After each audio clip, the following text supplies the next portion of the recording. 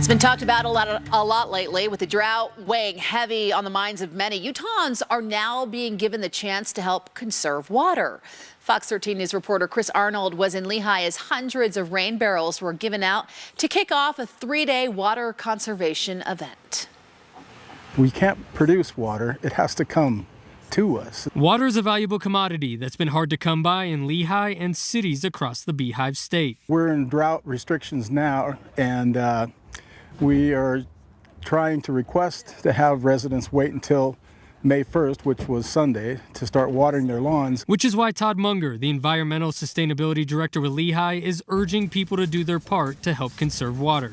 This rain barrel will hold 50 gallons. It's a great resource to utilize for your landscape, your gardens, these are part of 3,000 rain barrels. Barrels that will be given out to 1,500 Utahns spread across 11 different municipalities in northern Utah over the course of three days. Zach Frankel with the Utah Rivers Council says this is all a part of their rain harvest program that started eight years ago.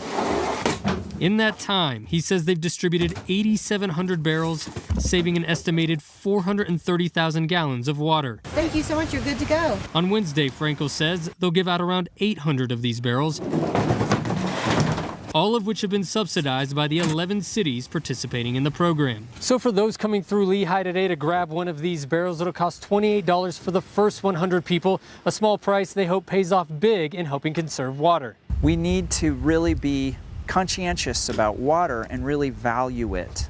And, the, and the, there's nothing more, there's not a better way to value it than reduce how we use water.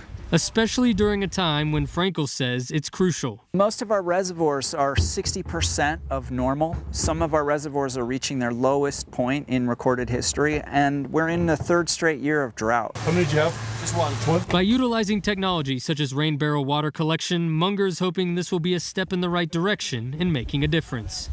This is such an awesome opportunity for uh, people, residents, just to start trying to help out. In Lehi, Chris Arnold, Fox 13 News, Utah.